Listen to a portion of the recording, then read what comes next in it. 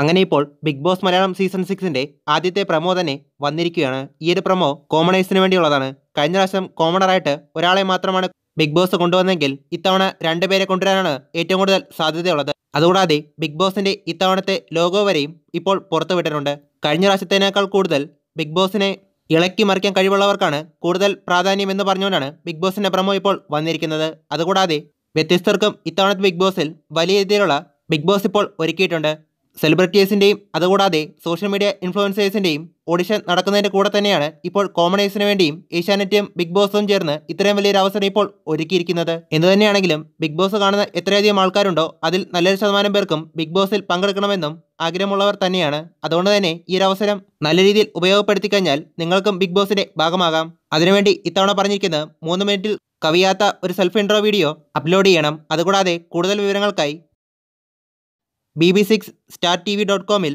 സന്ദർശിക്കുക.